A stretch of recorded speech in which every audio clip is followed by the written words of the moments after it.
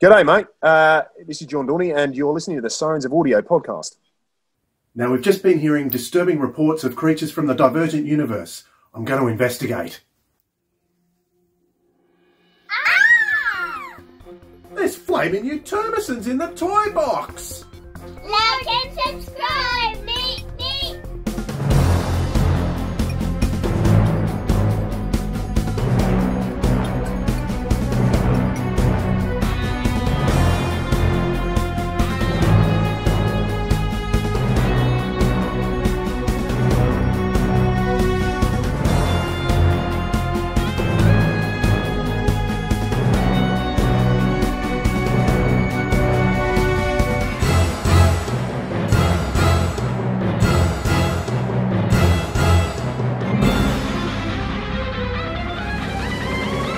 G'day, audiophiles. This is the Sirens of Audio, the show that explores the universe of Doctor Who in the audio medium.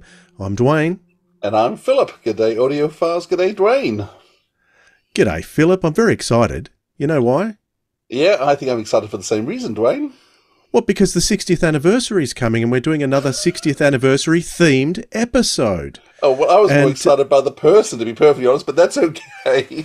Well, that's all part of it, but I've got to I've got to say what this is about. And yes, all of our episodes running up to the 60th anniversary are going to have an anniversary type theme. And did you know that it's been almost in January next year, it'll have been 20 years since the Creed of the Kromon. Do you remember that episode, Philip? I do indeed. It changed the shape of Big Finish for a long time. It certainly did. And we're very privileged to have with us uh, the star of that episode, Conrad Westmaas. G'day, Conrad. Hello, how are you doing? That was a that's quite an introduction. I've never been described as that before, and that's quite something. But thank you. we yeah, can describe lovely. you as many other things along the way, so don't worry about it. Conrad, welcome. Thank you so much. It's absolutely brilliant to be here. Thank you. No, we were the star of that one because we had a, a brand new companion created. We had the Divergent universe, which was all very exciting. Um, so we're uh, going to be able to talk with you in depth about that. Ha- has it been a while since you've talked about these these times? Um, actually, it hasn't because um, do you know Kenny Smith of Yes. Big, from Big Finish? Yeah, and We Big know him well. an expert. And he's wonderful. Well, I think I'm allowed to say this, but basically, because uh, back in the day, the audios we did were all on CDs, and now they're on downloads. Um, some of the downloads don't have extras or interviews and stuff on them. So Kenny has gone back and actually done little little small interviews about some of the stories that we didn't make it that we didn't do interviews or extras for at the time. So i've had a little over the last year had to dig out some of these old stories and listen to them. And as you say it's it's 20 years ago so it's that's that's just wild. So i have been talking about them a little bit but in a kind of polite official way and that's not what i'm going to do today. Oh, good. it's actually it's actually probably twenty years since your first release, which was actually Omega, and that was the first thing you actually did for Big Finish, and that is That that would have been 20 years- August, yeah, August, twenty years so, in August. So you've been working for Big Finish for over twenty years. I'm so glad you guys know this stuff because it's just like a blur. You know, it's funny when you watch like a Doctor Who, uh, you know, interview or an extra on TV, and they go, "Yes, I was in the Terror of Fang Rock in 1985," and you're like, "Stop getting Doctor Who wrong. You were in it. How can you not know?" And now I just like I can't remember what year, what month, but yeah, it's funny. It's all there. It's in there I, somewhere. I can't remember either. I've just done some research and made some notes, so I just pretend like I know what I'm talking about. as long as one of us does, we're all good. At least one of us is doing notes. I just guess. So, you've been a Doctor Who fan for quite some time too, I believe. Yes, I have. Probably about, I'm 52 now, and I've probably been a Doctor Who fan for about 50 of those. Um, so my first memory of anything at all on this planet uh, is the Sea Devils coming out of the sea. Um, and I looked up, and it was a repeat. It would have been a repeat of it. I think I would have been two, three-ish, so probably late, like three-year-old. And I can vividly remember the Sea Devils coming out of the sea on a repeat. Hazy memories of Pertwee. I can sort of vaguely remember Alpha Centauri, the spiders, that sort of it. But Robot was the first, my first story that I really, I watched every single one since then. My sister was five years older than me, so she loved it. So she was always making sure she was watching it. So I consequently saw everything. So yeah, it was, um, it was you know Tom Baker, Liz Sladen, Ian Marter, Davros, Zygons, Wirrn, you know, pyramids. That's that's you know how could I not be a Doctor Who fan? You know, growing up through that. So Pretty exciting times. What a memory to be seared into into your brain. Yeah, Fantastic. Yeah, so I think I had no choice to be a Doctor Who fan. Mm. See, we can say giant giant spiders from Australia. We look at them and we go, they're not spiders. They're not giant. They're not spiders. They're not Yeah. giant spiders. Yeah, That's- that's- yeah, we have the giant spiders in our bathrooms, but they're not giant. You're hardcore. right. You're straight. We're going to go a little bit more in depth with you in a minute about your, I guess, your fan journey, your career, and eventually becoming a companion to the Doctor. But before we do that, Philip, do you know what? Yeah. You do. Oh, come on, be a bit more surprised. We're going to jump down the rabbit hole. Let's go.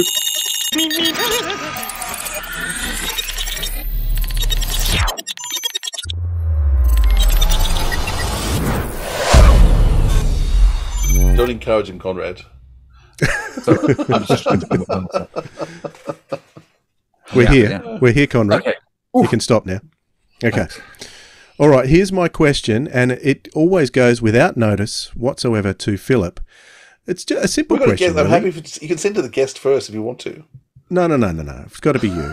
Thanks. What? It's a very simple question. What makes the perfect Doctor Who companion? Oh dear. Um, female in a short skirt? No, no, that's the dad's answer. That's what John Nathan Turner thought. um, okay, perfect Doctor Who companion. I think it's changed. I actually, it's interesting. In some ways, it, it's it's become again what it started. So I think the perfect Doctor Who companion was Barbara originally. I think you had because you had an older Doctor. Um, I think Susan was supposed to be a way of seeing the universe, but she just didn't work. I think, unfortunately, for whatever reason, the writers didn't know how to write for her, so she wasn't the perfect companion. I think Barbara was the perfect companion. She was the point of view the audience had. She was skeptical but caring. She was inquisitive, and she trusted the Doctor. And in the end, just wanted to be there and just enjoyed life. And I think for a long time they lost what the perfect companion looked like, and really rediscovered again. I think with oh, I'm really through some ways with Rose. Rose was again created to be someone who actually wasn't equal to the Doctor, who gave the Doctor what's for. Um, I think Ace was a bit of a, tr- an attempt to be that sort of person, but she was still a child.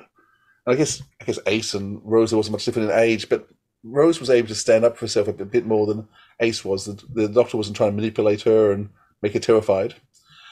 So for me, perfect companion, someone who trusts the Doctor, who loves the adventure, who is confident and strong in their own right, um, inquisitive, and occasionally just needs to be rescued, but also can do the rescuing. So those are the sort of qualities off the top of my head I'd be looking for.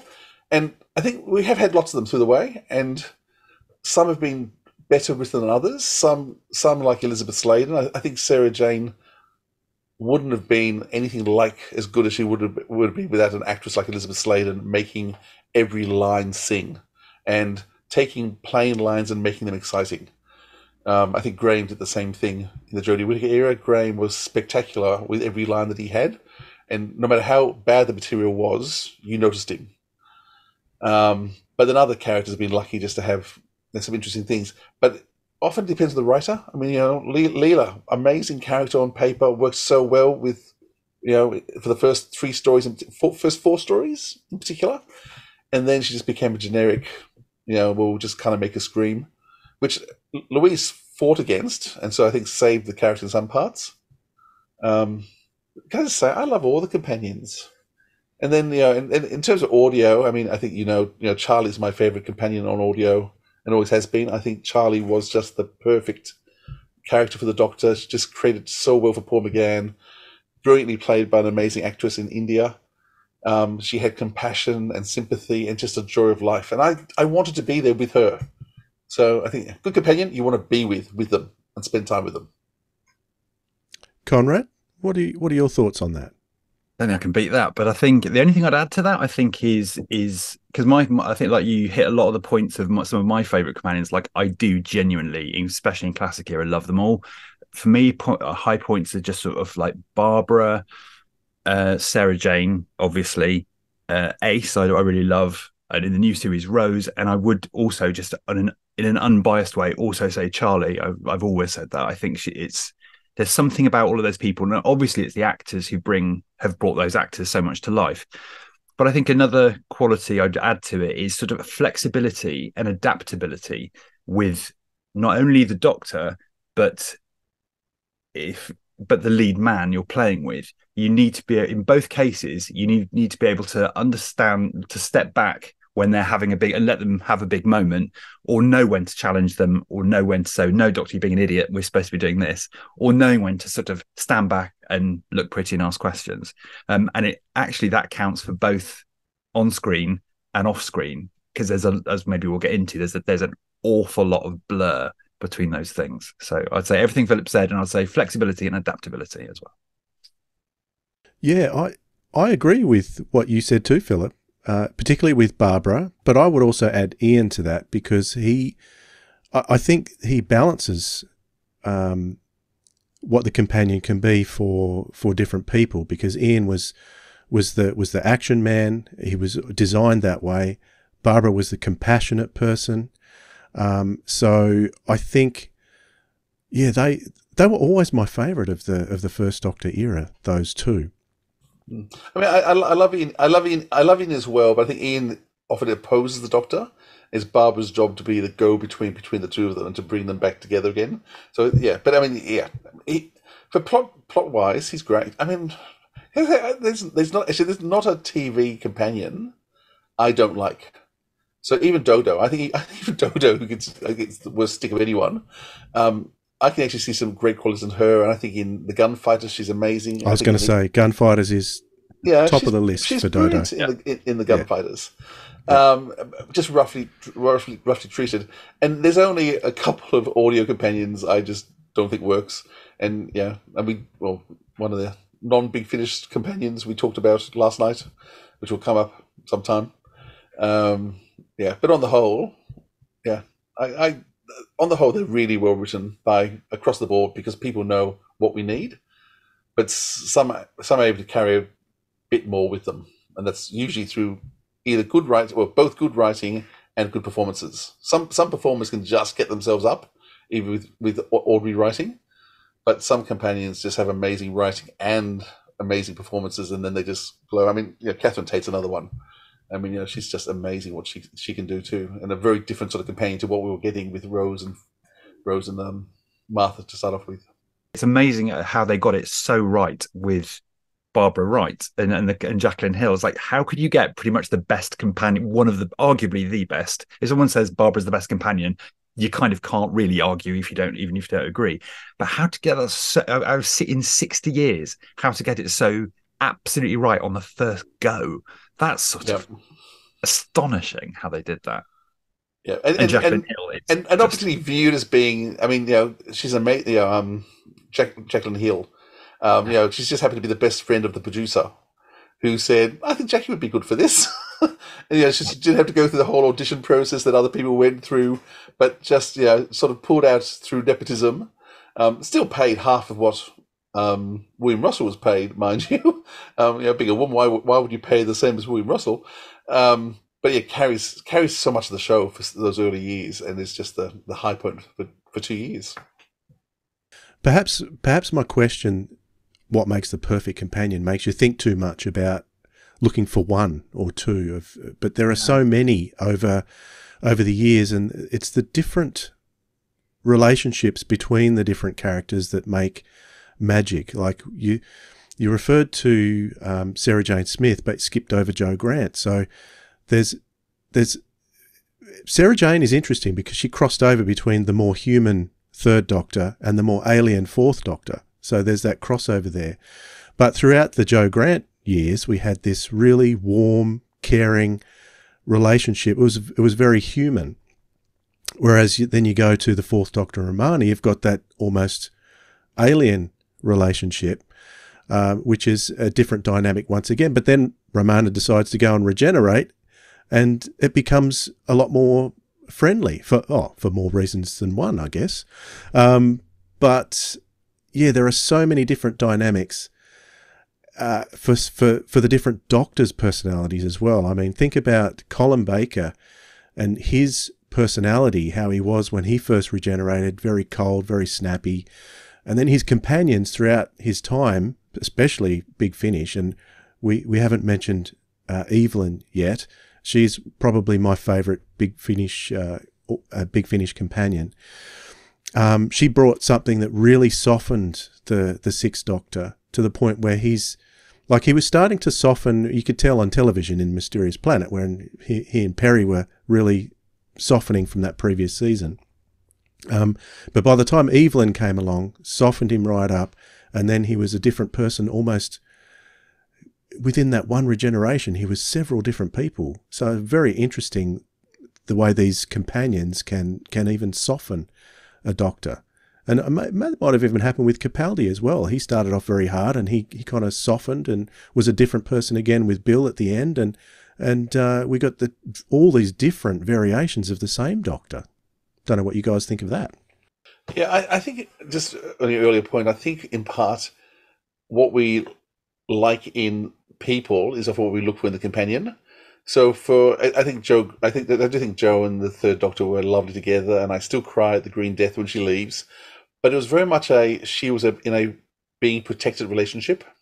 He was there to protect and look after her, and, and that, which I think worked well. I mean, I think I probably preferred Liz Shaw, to be perfectly honest, because Liz was smart, intelligent, strong-willed, didn't need saving, where Jo did need that protection. And I think naturally Jon Pertwee gives that sort of protection and that, that hug but why I'm more attracted to Sarah Jane Smith is because she was a lot feistier and strong and independent. Which is, if, if I'm looking for who do I want my daughters to be, daughters to be, I want them to be like Sarah Jane more than Jo Grant. Now, do I love Jo Grant's companion? Yes. Do I think you know, I love Katie Manning? I do. Um, but in terms of who do I want my daughters to be, I'd like them to be more like Sarah Jane, or I'd like them to be more like Rose. So I guess I'm I'm looking in terms of what are the characteristics I want to see in my daughters, and so those are the sort of I think are the things that appeal to me the most. But yeah, you are right. The, the the, interplay with Doctor and companion is really important. And and yeah, you think of Doctors, you think of the companion with them. Um, so with the first Doctor, I think you do think of Ian and Barbara. Like I do think they come as a set. Um, you know, second Doctor's Jamie, third Doctor's Jo, fourth Doctor probably Sarah Jane. Um, but then he's yeah he actually has a huge bag, doesn't he? Um, Tegan for the fifth um, Peri for the sixth, um, Ace for the seventh. So they've all got their sets that go together. Um, and that's, yes, it, they certainly do help define who the Doctor is. And I think that's a good point, Dwayne. You said about the, you know, the, the, obviously the Doctor change can change, so they're a completely different person from one to the next. But like you said, he also changes, or she, he or she also changes throughout their run, and also they change scene by scene, or even mid scene they'll change. So it's like loyalty I'd add to that because you have to love that person or at least be loyal to them to deal with that level of BS on, of, you know, of just them being so changeable. There's going to be something at the core you believe in because they can be a nightmare one minute and your best friend the next. So yeah, yeah, loyalty I'd add to that. Absolutely true. Anything left that we haven't covered on companions? Oh, there's tons we've left that we haven't covered, but yeah, Conrad.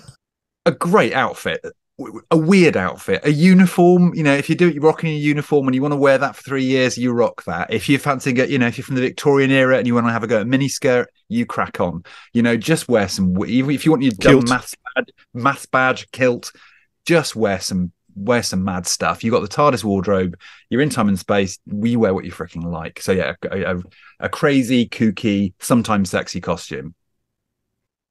I was going to say yes. What, what, what, we got up to in that, that, that TARDIS wardrobe room. You don't want to know the. Yeah, I want, to, I want to know what you were wearing later. don't want to know. yeah, because the Doctor doesn't doesn't use that wardrobe too much, although he may do soon, judging by the pictures that we've seen. Eh? Mm. So that could be interesting, an interesting change of direction. All right, I think on that note, did you want to say something else, Conrad? No, I'm good. I'm just really excited to have done a rabbit hole. I'm thrilled. I love that. I feel like I made it. Awesome. All right. Well, let's crawl up out of the rabbit hole. And before we uh, talk to you further, uh, let's throw in the trailer for The Creed of the Kromon because, as I said, in January 2024, it will be 20 years since that story has been released. Doctor Who The Creed of the Kromon.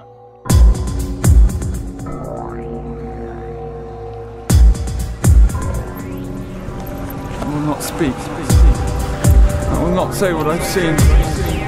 I ask only that you don't harm Lyda. Lyda, captured, median 5. Selected at induction for reproductive reserve. Status confirmed. Ingested first and second grade Q elixir. Hybridization experiment promising. Advanced to status Q3. So I wonder where we are. Well, the landscape seems the same as we saw earlier. Yeah, dry and dusty. Why wouldn't the Kro'ka let us through? What's to hide? There must be life somewhere. There must be technological development. The Kro'ka seemed interested in the TARDIS. We can worry about his interest when we find the old girl. Well, I, I was inducted, taken with Lyda to Alphasphere. Well, there were hundreds of us. We were graded, assessed for work and usefulness, divided into groups. Everyone was herded away until only Lyda and I were left. Are the Kromon native to this zone? Oh no, they're not like us. You will all remain standing. You will wait for the return of the patrol ship. You will be taken to the Alpha Sphere for interrogation and induction. And if we refuse? You have zero choice in the matter. Ingested final expansion elixir. Consumption successful. Enter requested information. We're not your enemy, Keris. Please believe that. Um, I'm not going to reintroduce Conrad. We've been stuck with him for the whole show so far because he wanted to come into the rabbit hole, which has been great to have you so far. Um, I want to take you back back to Titanic. No, uh, let's go back to wh- where were you born? Where did you grow up? Let's tell us a bit about your early years, Conrad.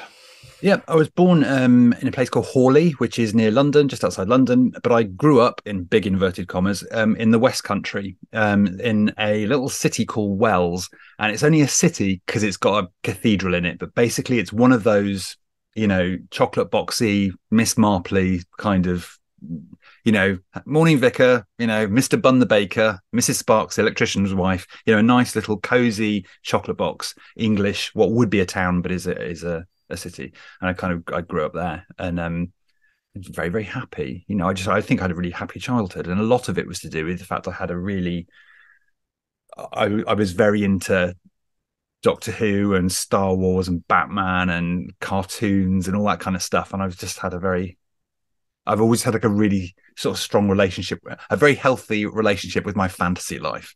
And later on that so i think when things started coming along later that I was in or got involved in, it was always sort of fairly natural to me that there was this two way door. I always sort of assumed that I didn't, I never, I never really kind of got the got a grip between the separation of reality and fantasy. So yeah, but yeah, I had a very, very, very happy upbringing. Doc, and Doctor Who was a big part of that, I think.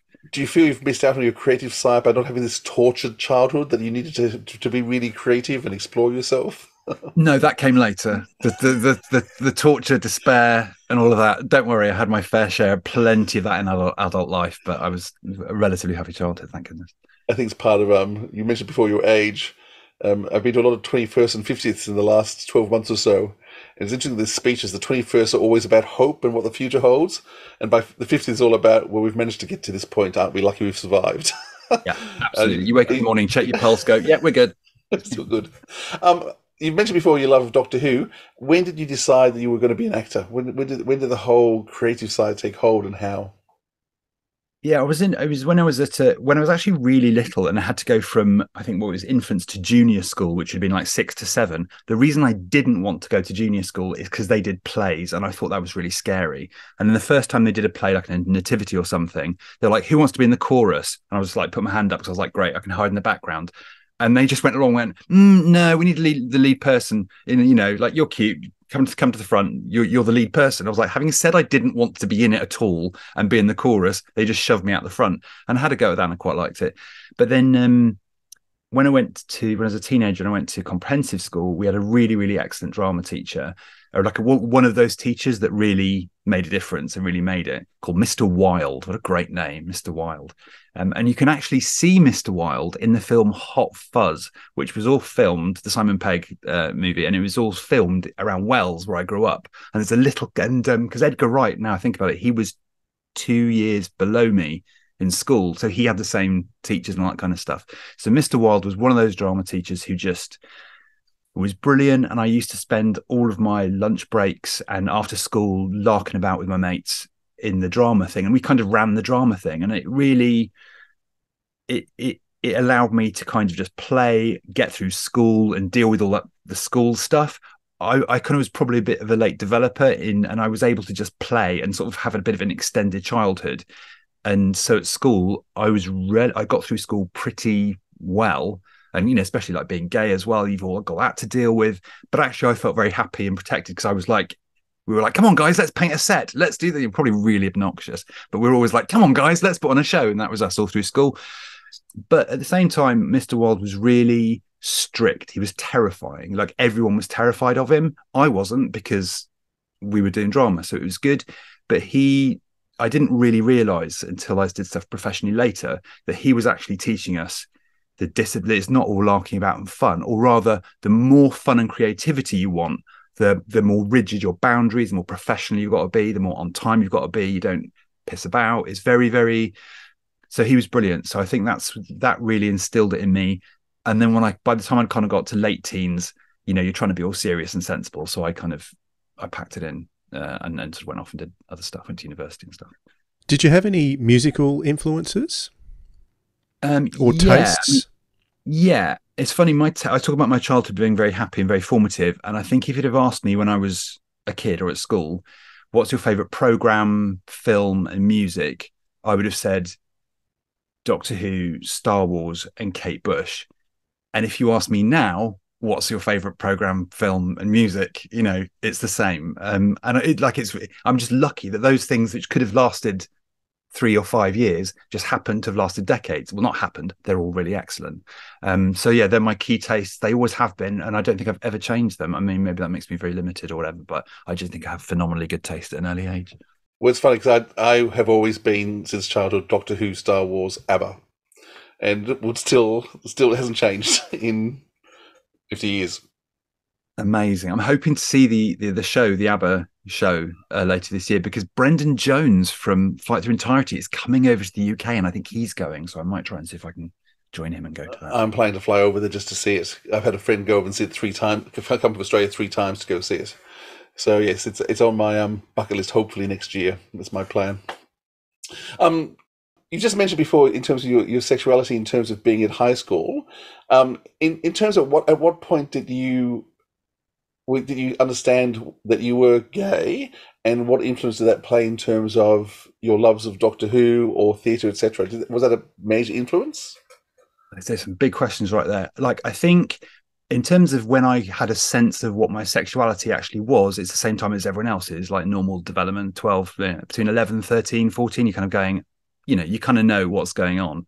Um so that's when i had a where you know I, I, had my sexuality the same as time as everyone else but like everybody else i can track back from when i was tiny and i can see my attitudes towards gender like men and women and think the things i liked. It's it's kind of amazing how early that's formed and and it, it, it comes at you in a different way but there's just like this sounds so freaking corny but you know how it's such a a um a cliche. They're like, oh, gay men like Wizard of Oz and Judy Garland and all that kind of stuff. It's like, yeah, it is a cliche. But when I was like three or four, when I saw that, I was like, something about that just beams so certain things. I also sort of like gayness and campness and that kind of stuff is like a frequency that only some people can kind of hear or get.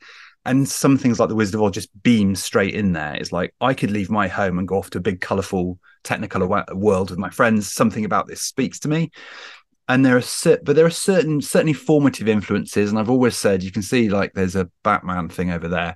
Batman 66 that was incredibly formative. I won't go too far into that but uh, I've, I've actually been quite curious about i'm very curious about stuff like sexuality and psychology so i've actually gone back and really tried to retrace where all these, these influences came from. That was certainly a thing where it wasn't i'm, I'm understanding this in a sexual way because i was six or seven but something about that like made sense in my brain and continued to make sense. And it was often like the villains, like this, but this like bunch of this this freak show of these weirdos. I'm like, yeah, I like you lot. You know, it's like there's something about you. I think it's because quite quickly you realize that you're different and the adult world that's being presented to you is not isn't quite something about it doesn't ring true. So I think gay and queer people have a sense of the uncanny or what's behind that curtain or that there's something else going on that's that that the adult world isn't quite right, which I think is why huge generalization. I think gay and queer people are often atta- uh, often very attracted to sort of what appear to be frivolous or surface or artificial things is because they have an innate sense of spotting what's real or what's behind a sort of curtain. I think that's a that's a key thing.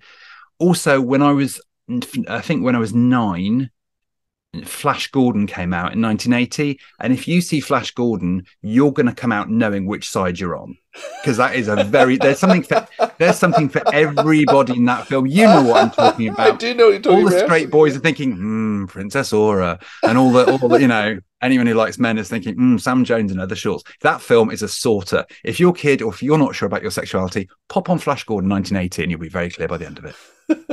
Now, uh, early on, I mean, part of the reason I raised this early on, you talk about the, the gay kid in the in the drama room.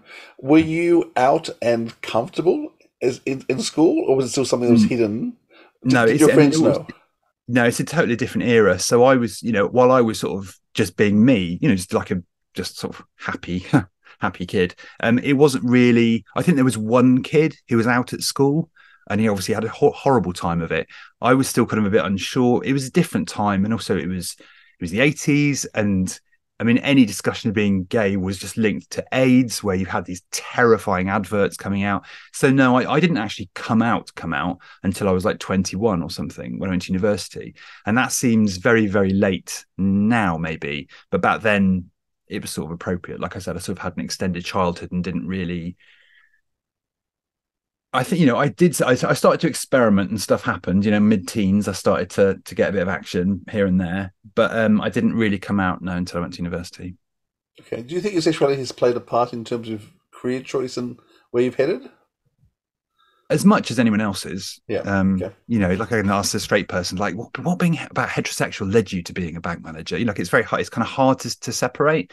But um, I think it, you know there is a long tradition of you know, gay people being very artistic or very creative. I don't know why that is. We're drawn to, like I said, it's, it's part of that explanation is I think, oh yeah, we know how to play in a fantasy world. We know what we can see behind the curtain. We, the, the game's up. We know this is one big bloody play and it isn't real. Whereas I think if you're straight, it's much easier to, to accept.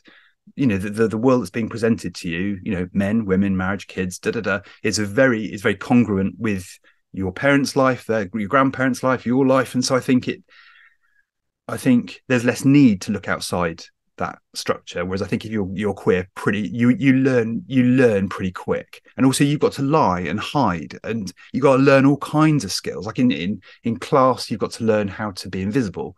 If if some subject comes up about being gay, you just learn how to sort of shimmer out and be invisible or you learn how to adapt how you talk or modulate your voice or, or your wrist you know like you have you learn very quickly how to be a bit of a I also like being gay is like a superpower.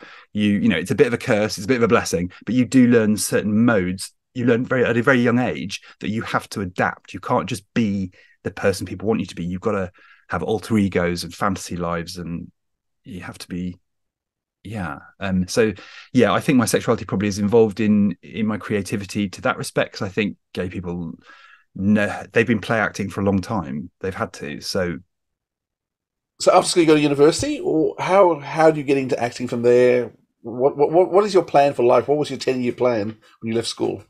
Okay, I'm I'm sort of in my early twenties, you know, in the nineties, so I haven't got a clue what's going on. Um, but I went to university. I did communications, which now is quite common, but then it was quite an unusual hybrid of like psychology, sociology, with also film studies and TV studies and all that jazz. Moved to London, um, and my first proper job was I didn't have any plan, but I moved to London, and my first proper proper job is I, worked for 20th Century Fox, and as as I'll probably sort of will keep coming up as a bit of a running theme as I've, I've sort of realised is that I'm incredibly lucky. I don't know why cool stuff just seems to happen to me without me really trying too hard, so that's nice. Um, I was on the I was I was working in a shop. I was working at Harrods. It was ridiculous. Um, but one of the suppliers phoned me up one time and we were just chatting and he went, um, Oh, did you see that Princess Diana interview on Par- Panorama, the big Princess Di interview? I was like, No, I was watching this other thing, this new show called The X Files, which I really love. And he's like, Oh, I've got a friend who's, who's involved in that. And I just went, Oh, he hasn't got any jobs, has he? Half joking. And he went, Yeah, I think he has actually. I'll put you in touch. And it turned out that the 20th Century Fox was were opening an office in Soho Square to do all the licensing and merchandising. So I did a bit of research on the early internet. I had to use my dad's internet to look up X Files merchandise, and I, I, sort of I found a cut. I saw a couple of really cool uh, light up X watch by a company called Wesco, who I think did Doctor Who clocks and watches. And in an interview, he was like, "Do you know about the X Files?" And I was like, "Genuinely, I do. I know all about the X Files." And I said, "Yeah, I've very cool merchandise. I love this watch." And this guy went, "I designed it. I designed it." And I think I had the job. So it's one of those little. See, I say I'm lucky, but actually, that's a little bit of research and a little bit of making your own luck. But so I worked at 20th Century Fox in my early 20s, which was a dream come true. We worked on The Simpsons, Buffy, X Files, and it was around the time stuff like Baz Luhrmann, like Romeo and Juliet, Titanic. You know, it was it was amazing. I mean, I was working in mm. Soho Square, and basically all day long, I was just playing with toys and approving Simpsons merchandise and going to movie premieres down the road. It was like amazing. I've got to tell you this ridiculous story because this, this this shows you how ridiculous it was. Like you always had to keep a tux on the on the coat stand because if there was a someone like someone there'd always be like oh there's tickets tonight there's spare tickets to a premiere down the road you're like tucked up you're down the road but i remember one time it was around the time of the star wars re-releases you know when they did the special editions whatever you call them at the cinema and uh, the PR guy came to me in a massive panic, and he had two big trunks, and he was like, "You know, you've got to help me. You've got to help me. You like Star Wars?" And I was like, "Yeah." And he said, "There's a premiere tonight. George Lucas is coming. There's the original Darth Vader costume, and there's a replica one, and I've got them mixed up, and I don't know which is which. Can you help me?" And he says, "George George Lucas is coming. There's a big walk down with stormtroopers. George, you've got to help me." And I was like, "Okay, wait, wait, I got this." And I looked, and I sort of circled these boxes. I picked up the helmets and did this, and I was just like, mm. I was like, "Yeah."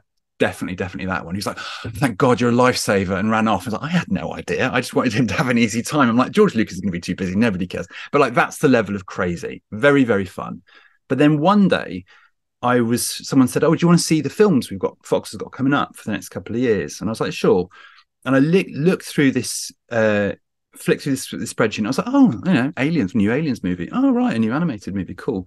And then as the years went by, the the the slots, the film's titles stopped happening, and then it was just like Valentine's Day chick flick, summer animated film, Christmas some comedy, and I and I knew, you know, you don't work for a big Rupert Murdoch company without knowing you're just there to make money. But seeing it so baldly that like these people don't care about films at all. They, they've got no idea. They just and I think just seeing it just really made me very disillusioned. And it was just a moment where I was like, and I, and I think in a corporate environment, I don't think I'd last that long anyway. So I probably lasted three years, and I was like, I hate this. I hate this. I now hate this job, and I, I just need to go somewhere else. So basically, I I did a bit of soul searching, and then I buggered off to drama school. Um, quite late, lots of late twenties or something. Yeah, I went off to off to drama school uh, for two years. So that's how I got there. So, what was that experience like? Yeah, well, it depends which drama school you went to. I went to a place called the Poor School. It's not that well known. It was near near King's Cross. It was known for being very rough and ready. It churned out a lot of EastEnders. I think um, Jessie Wallace, if that's still her name, uh, she went like she was the year above me. There were a load of EastEnders around it. It kind of t- turned out kind of the reputation was for very hard working actors because it was incredibly tough. It was probably the the hard, the toughest I've worked. I think two solid years. Thirty six of us started. Sixteen of us made it. It was. Wow. You're basically you're learning, and again, this is what I was talking about the, the discipline you learn from school. You just like you're never like you're never late, you're never ill. If, you, if you're thinking of being ill, I want to speak to the who's in charge of the hospital bed you're in. Like you can't do that on stage. You can't be late. You can't be ill. So you're not going to be. And so it was really, and it was very strict and it, the guy who ran it was a brilliant, nasty alcoholic, and so you know you got swore at, shouted at. It was hideous, um, but it was also the most wonderful experience. So it was very tough. So it was I was really kind of grateful for that, and I and I was able to deal with it. So I, I did that for two years, and it was it was fantastic. And then I came out of that in my early 30s with a completely blank CV. And I'm like, geez, I'm 30. And my, you know, because I'd start, I'd rechange career and I had a, an empty CV and I had to start from scratch doing plays. I only really wanted to do theatre. That's all I ever really wanted to do. And so you're doing like, like things for like no money above a pub, you know, new writer, cla- the classic stuff, and then just sort of built up as you do, and and you sort of, you know you. You, you, your next job's a bit better, then your next job's a bit better, and then someone rehires you, and then you get an agent, and then you, then it kind of builds up. Um, I mean, yeah, and then I think my first professional job, what I would call professional, um, was a tour of Abigail's Party. It was the 25th anniversary tour of Abigail's Party at Hampstead Theatre, and I was understudying, but I was covering this wonderful guy called Stefan Rodri. He's an amazing actor, and what a lovely guy. He said, um, "I think I might be feeling a cold coming on that might be coming on on Monday." If you uh, want to go on. I was like, oh, what a shame. I hope you feel better after Monday. So I knew I was going to get to. I said, bless him. He just he just sort of took a dive and let me have a night on stage, and it was amazing. And that that's like that that does something different to you when you're in a proper production of something, big audience in a proper theatre, and you're getting a big laugh. That kind of stuff is like, oh, oh, I like this. And playing, I played the part of Tony and playing my wife was one little unknown called Lizzie Hopley. Whatever happened to her? I always keep meaning to ask. Yes, I don't know what happened to her. Yeah. So that was and that, and that kind of, you know, that put, I don't know, then things started to take off and you know, obviously I've been friends with Lizzie ever since. So and and and then from then, yeah, then I'm looking for like good proper stuff, and then then you're up a level, and you just have to drag yourself up a level each time. Um, and yeah, and, and basically, I think uh, so. I did a train for two years, and I acted for ten years, uh, and and it was brilliant. It was really hard work. I really, enjoy, I really loved it because I'd made it myself. You know, there's a total blank CV, and then you know you get into the back of the taxi one day, and the guy goes, "Oh, what do you do?" And you're like, "Oh, I suppose I'm an actor." And then then you are, and just because you say you are, you kind of create it, and then you are. And I did lots of theatre. I did lots of Shakespeare. I did lots of physical theatre. There was a sort of phase I went through doing a lot of very, very lot of work with amazing physical theatre companies like Frantic Assembly and Punch Drunk and Adventures in Motion Pictures. And I loved all that stuff. And then a very big Shakespeare phase, which I, I loved, which culminated in in doing a, a Romeo and Juliet at the Globe, which was just like, wow. If you want to do theatre and if you always like Shakespeare, yeah. and I remember Mr. Wilde took me to see my first Shakespeare play, you know, and so like, if you want, if you like acting and you like theatre, and then you find yourself at the Globe, you know, on your own, on stage, 2,000 people, and they call it the globe because it's a circle. And, and when you're on stage, there's people as high up as you can see, as far left as you can see, as far right as you can see, and then you look down and there's people like that, you know, looking looking up at uh, you. So, so all the world's a stage, and it was like, you know, a laugh, getting a laugh or response in that big wooden space. That's a that's a very nice feeling, and we toured it all all around Europe, all these Shakespeare festivals, and that was real highlight. But I think that slightly scratched an itch in me because nothing was ever the same after that. I did I was still working, still getting parts, but I'm I was like, something's not here. And I think, really, really honestly, I, I think part part of me was just like, I, I can't I can't beat that. In my something in my heart just was like, after that, I wasn't really. I don't know. My, my heart wasn't in it. Heart wasn't as in it as much after that, and you can't do acting if your heart's not in it. So no. Uh, I saw I saw Twelfth Night at the Globe, and it was just the most amazing experience. And yeah, as, as part of the audience, it was an amazing experience. So I can imagine being on stage must be an amazing buzz. Yeah, well, you're another another beauty of the globe is it's sort of you're all there's no lighting in there. You're lit. Yeah. You're all lit by the same light, so that you can see them, they can see you. It's a very, very, very kind of two way thing. So it's it's not so removed and you know you're always talking to the audience or if there's a plane in the sky you refer to it it's, it's you know it's brilliant. If, they, if they're being rained on you're being rained on. It's all it's brilliant. All one. So in yeah. 2003 february you went and recorded your first big finish. So how did you come to work for big finish? Yeah through so through a series of again happy accidents and me not pushing too far. I think socially i in the early 2000s i met clayton hickman um, and obviously he was the ed- editor of doctor who magazine. Um, we were chatting and he was like, "Oh, I'm going to um, um, a convention in Manchester, Manopticon," and he was like, "Oh, you should come." And I was just like, "Okay." And then I, I, I went, and when I arrived, he was like, "Oh, you came." I was like, "Yeah, you said I should, so I'm here." Um, and then I just sort of um, met lots of people, and it was all good. And then they were looking for a new assistant editor, and I think because I'd, I'd socialized with people and had a nice time. And you know, I had experience at Fox looking after brands and stuff like that. So basically, I worked on Doctor Who magazine for six months. And the acting work was there because this is 2003, so this is quite early. This is I'd only been out of drama school a couple of years, and it, I started to get age, uh, get auditions and stuff. So traveling from Tunbridge Wells just wasn't working. So I only lasted in Doctor Who magazine for six months. Um, and then I think as a bit of a leaving present, some dark deal was done at the Fitzroy Tavern, and I think they just chucked me a day on uh, a Peter Davison audio, which is Omega, which I was just, I was like, this is this is amazing. You know, this is this again, this is early on on in my career, but I was like, I'm going to be in Doctor Who for a day, and that's just that's just amazing. And I didn't have to try or push or you know, I, I'm not very ambitious in that way. Like I'm, I'm determined if there's something I want, but I'm not. I don't. I'm not looking to get places or make people do things or, or try and get in there. I've never been like that. Um, so it just landed in my lap, and I was like, "How jolly! I'm in Doctor Who for a day." So I really, I thought I'm going to make this count. So I hired a voice t- t- uh, tutor from my drama school. There's a direct friend I know, and I I just worked and worked and worked and worked on all of that.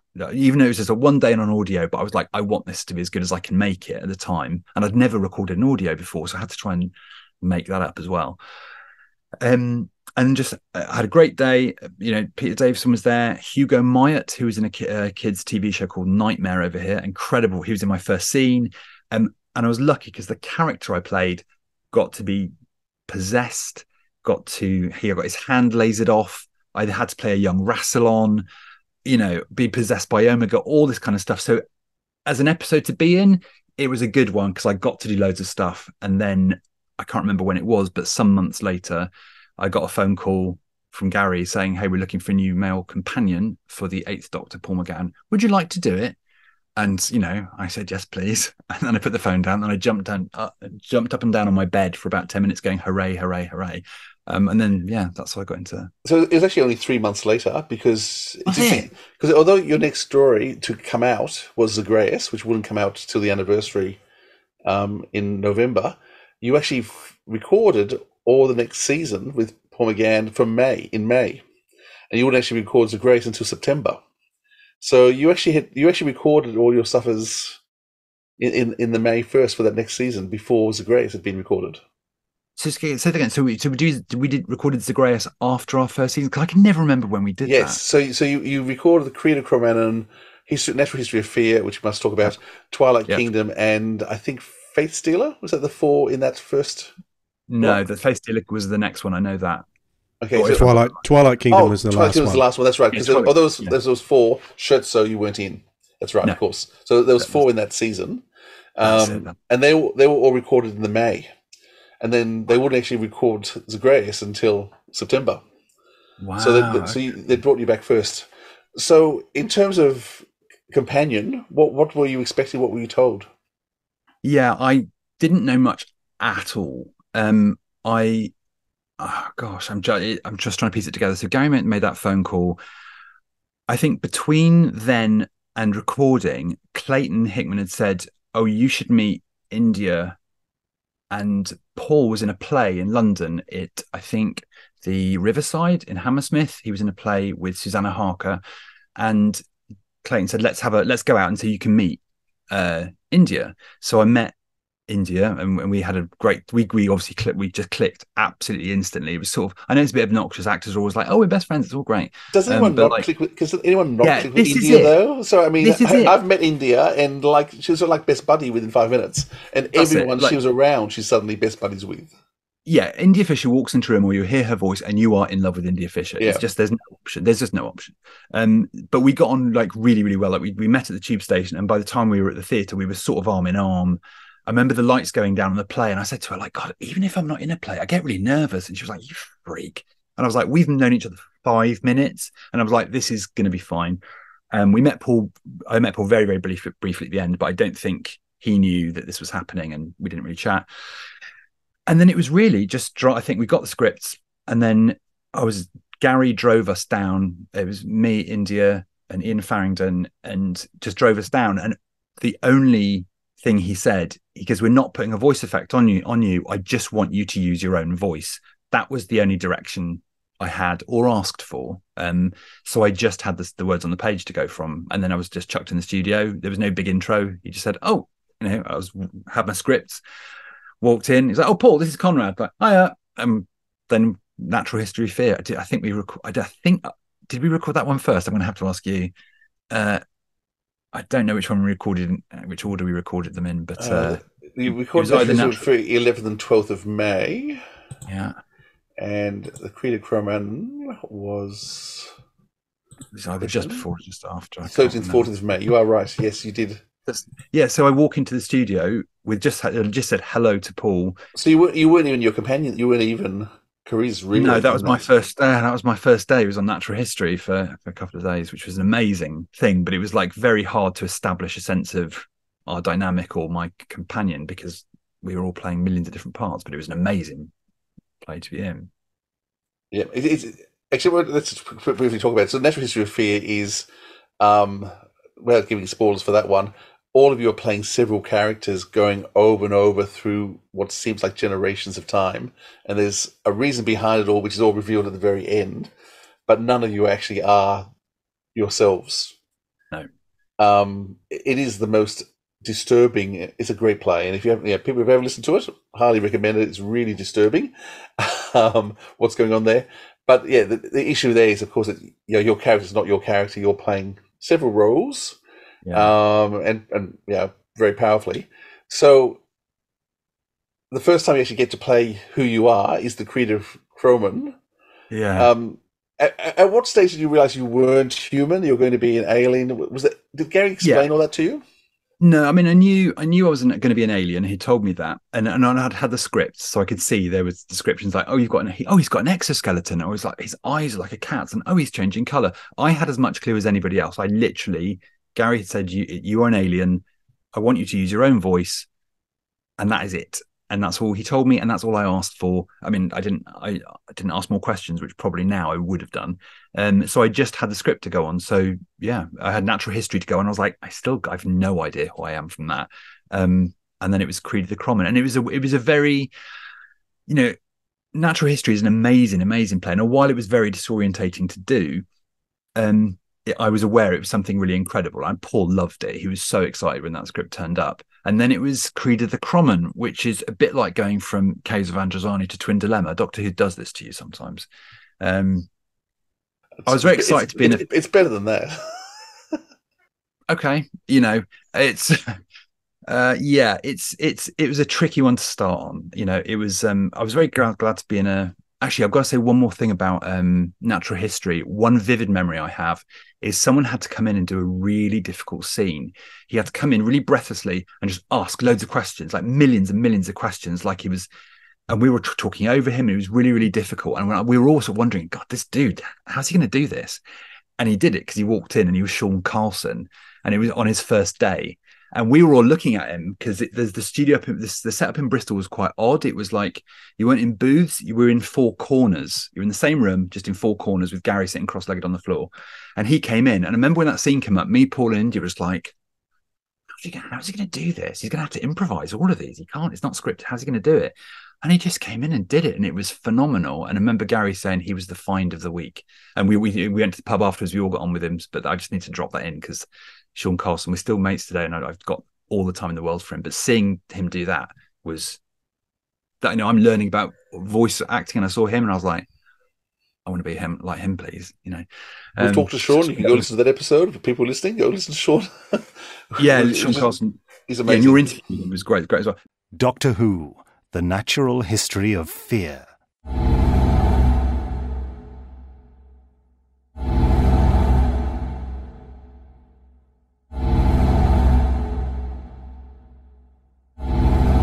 This is the voice of Light City. Attention. Welcome to your new workday. Today is Jubilee Day. Citizens may celebrate for one day without arrest or punishment. Happiness through acceptance. Welcome to your Jubilee Day. Welcome to your Jubilee. Do you worship? Do you go to church? Do you believe in God? How many gods are there? What's his name? What does he look like? Perhaps he's a woman, or perhaps he has a beard. Perhaps a, a, a bearded woman. Uh, perhaps he's he's many, many gods. Uh, a whole army of gods. Perhaps he's plotting to attack us now, to destroy us. A, a whole army of gods rampaging across a desert, a plateau, to kill us, to wipe us out. Would God do that? Is God fair? Does he love us? Does he hate us? Perhaps he's teasing us, perhaps he's toying with us, perhaps he's playing with us, playing with our minds, perhaps we're all just part of one big experiment, perhaps we're just toys, perhaps we're all little toy figures that God is playing with, and sometimes he bites off our heads, and sometimes he stamps on us, and sometimes he throws his toys back in the box, and he doesn't want to play with us anymore, he doesn't want us anymore, he, he wants to get rid of us, he wants to get rid of us, to throw us all away, get rid of us, don't, don't that to us. No, he loves us, surely he loves us, doesn't he? Doesn't he? It's not true. Does, doesn't he love us? Do we all love each other? Perhaps that's the answer. Love isn't that what we need? But then perhaps love is evil. Is it a sin to love? Is it a sin? Is it wrong? Is, is it wrong to love? To hate? Perhaps to hate is safer. Hmm? Or to feel nothing. Do we feel nothing? Do we feel nothing? Perhaps we'll be safer just feel nothing. And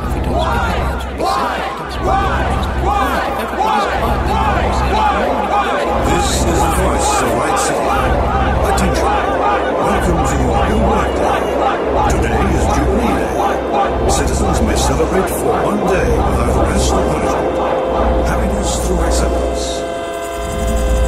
Welcome to your Jubilee Day. Welcome to your Jubilee.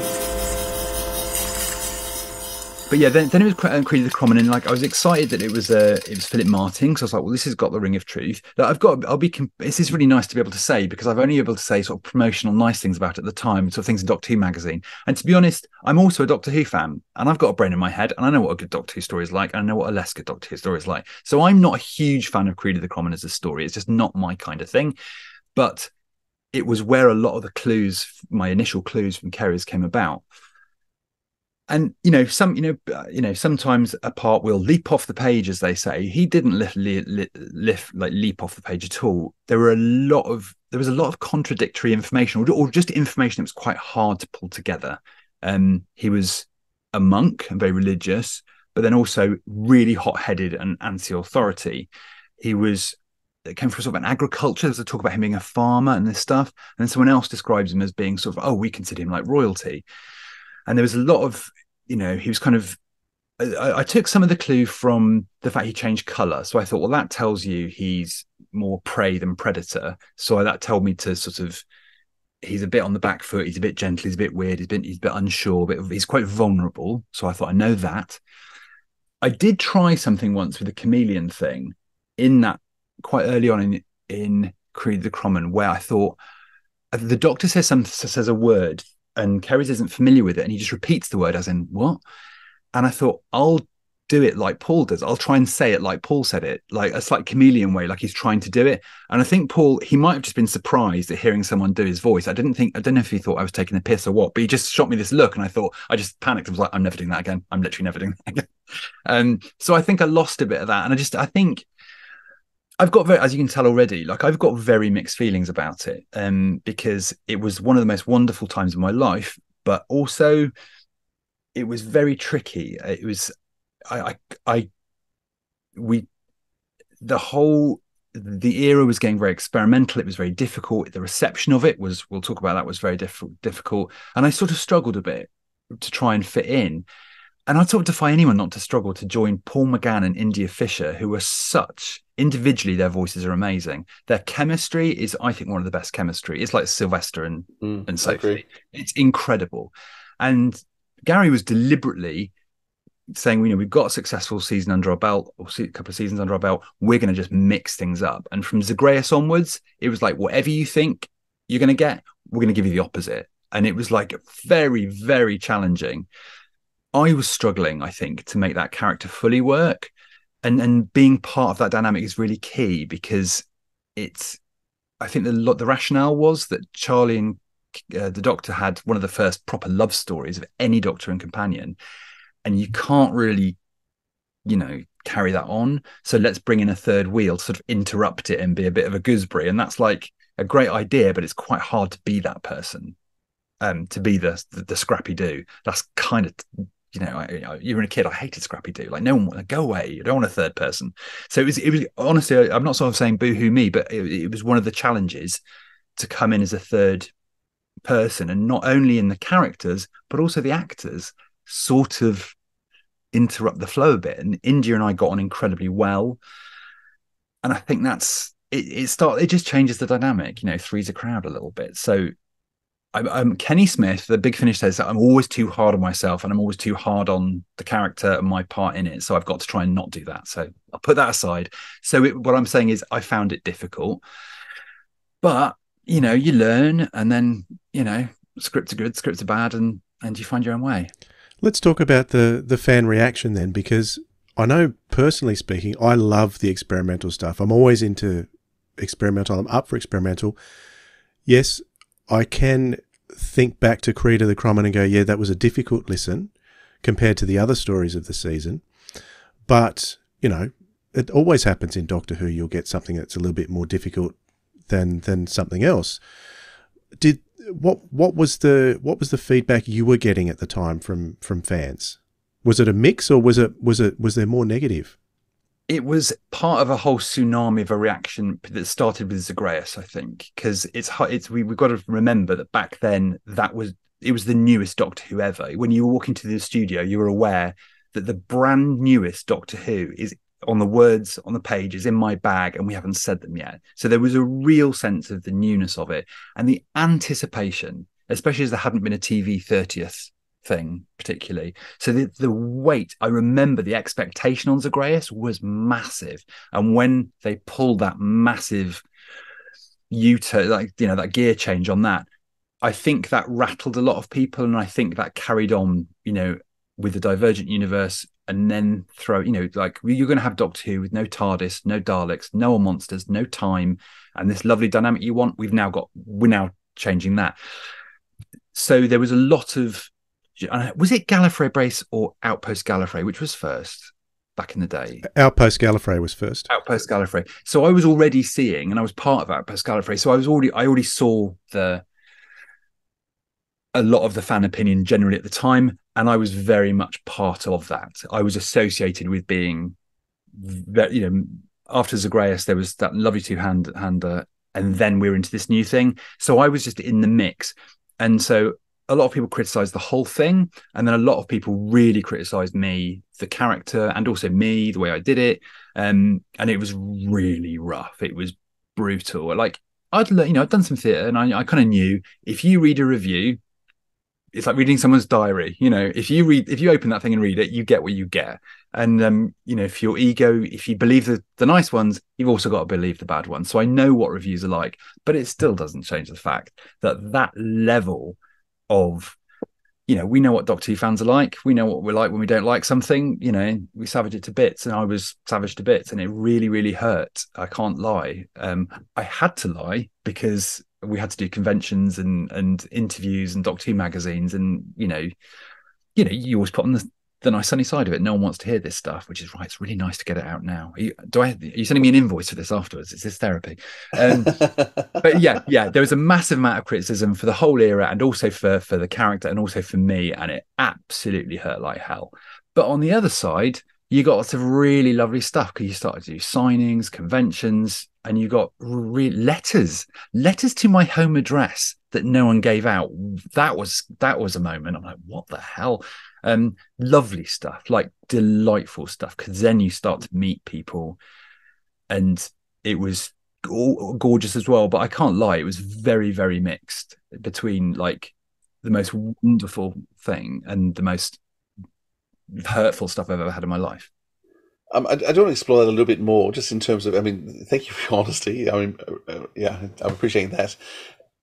A, couple of months before Zagreus came out, it was announced that a new series was coming back with Russell T Davies. Yeah. So I think so. I think that would have had an influence in terms of what was going on, and it would have no doubt freaked out Big Finish and Gary because Gary had this big four five year plan, and yeah. suddenly the show's coming back. So we'll, we'll, we'll talk about the effect that's going to have after another season or two of, of what's going on in the new series. Mm. We talked before in the in the rabbit hole about what makes a good companion, and it's interesting that the companions who've had the hardest time, I think, have the roughest introductions. So as hmm. much as I talk about liking Dodo, she had a shocking introduction because they didn't know what they were going to do with her. And so hmm. every story they do something different with her accent, with her voice, and I think the fact that the actress is able to pull that off still, even though you know every week she goes in with a new note about how to speak, how not to speak, how to what to wear, she somehow manages to pull it off. So we actually do see that in Gunfighters, we see she's a great actress. It could have worked if they just got it right. Um, I think Mel suffers from the same. You know, the way they introduced her was just not a good way to introduce a companion. So if you introduced poorly, you struggle throughout. Um, you're in the situation where you have a you're introduced in a, a season. Scherzo, which I adore, is an absolutely brilliant work. But that being said, polarized people. Uh, You know, already the Doctor Charley relationship has polarized people. Can the Doctor be in love? So Grace wasn't what people expected, and I'm, I'm, we're talking to Gary about that soon. I'm really looking forward to that conversation um, to see to take his take on on that. I've got some. Um, I've got some. I've got some Zagreus stories. I've got some stuff to tell you about Zagreus. Okay, well, we might include that in the Zagreus episode. um, and they say you're introducing Creator Crom- Kromon, which at the time it's, it's not clear that you will be a companion. And if I'm right, you kill your girlfriend. It's Yeah. part of part of that. Which once Yeah. again, as, as a choice, um, as a choice for a new companion's not the best of choices, probably to introduce a new companion with. You're then given what is an absolutely brilliant story, and you perform in it amazingly. The history, natural history of fear, but that's not you. It's not the companion. And then you reappear in the Twilight Kingdom, which again is a, I think is a great story. That's Michael Keating, isn't it? Um, Yeah, yeah, yeah. yeah. So it's an unusual way to introduce a character, and I think that a lot of the issue isn't with you, it isn't with the character. It's just the introduction wasn't clear, and so you get to the end of the season, and we still don't have any idea really of who C'Rizz is, what he's about, what his superpowers are. Um, and from the sounds of it, you're not really clear either. The, scripts haven't been clear. I mean, Gary's using more experimental writers as well for that season. And so all those things combined, I think, made it very hard for you.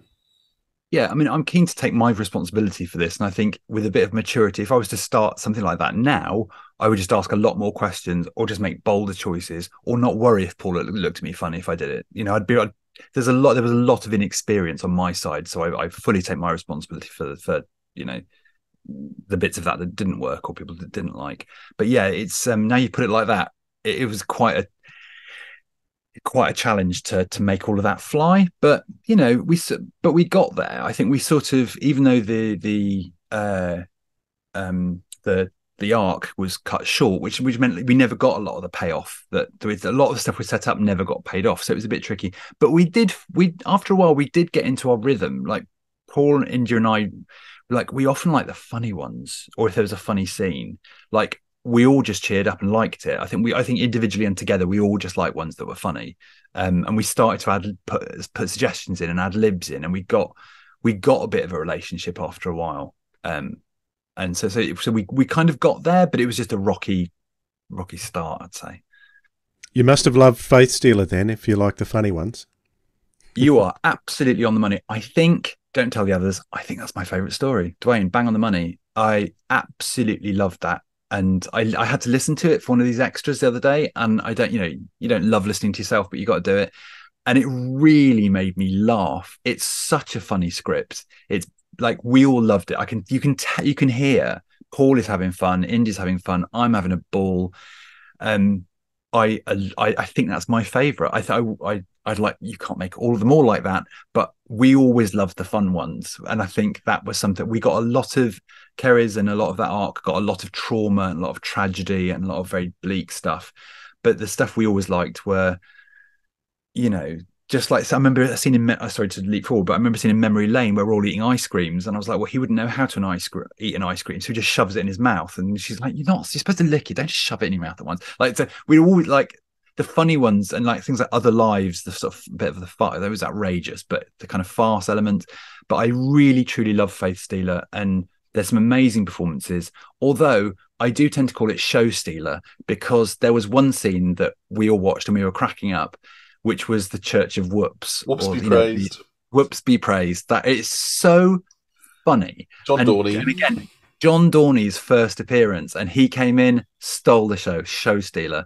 It was his. It was hilarious. I listened to it the other day, and it still made me laugh. There are loads of gags in Faith Stealer, really, really clever gags. Um, I listened to your episode uh, with Chris Thompson um, about Faith Stealer. Is it Chris Thompson? I think it is. Who works at Eaglemoss. Yep, um, that's my he did cousin. re- yeah. Is he your cousin? Oh, mate, well, you should know his name. Um, he, uh, he, you guys did an amazing review of Faith Stealer, so please go and listen to that. Um, but yeah, I loved Faith Stealer. It's sort of really funny, really witty, and it's a good Doctor Who story as well. Like it's a really good. So, so again, the start of the second series, I was like, with a bit of a break, coming back. Paul and India know who I am. I know who they are.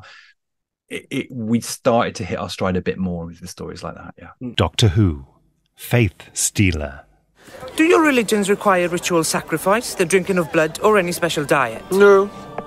Carter, come on. A joke's a joke. Where are you? Where am I? Uh, hello? What is it? Are any of you carrying gods about your person? No, I, I wonder, is all this uh, strictly de rigueur? I mean, couldn't we just pop inside and do the form filling some other time? Your faith and religious details must be recorded before you may enter the multi-heaven. Please, Bishop Parash. You must not struggle. You're. You're in my mind. It stings. The less you fight it, the better it feels. What? What are you? I am Miraculite, and all shall live in me. Charley and I are members of the tourist faith. We worship C'Rizz here. And we begin each day with a ritual cup of tea. Your god's looking rather faint. Oh, God. Oh, C'Rizz. What have they made you into? Kill me, please! All right. Goodbye, my love. Oh, this has to be. I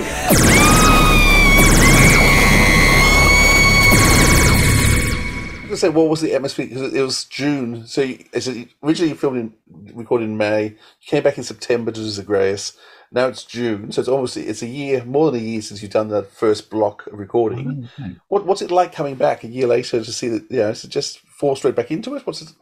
Yeah, a, a bit. Yeah, I mean, I was still the new boys. There were still little echoes of just trying to work out your position with, with the you know, and again, you know, we, we do a lot of talking about the actual stories, but you know, like I said, the doc, you know, about the Eighth Doctor and Charley, but a lot of it was like Paul and India and I trying to work out how we work, and um, so there was a bit of confidence coming back to it because you just sometimes if you just have a break from something and come back to it, you're you're just better at it.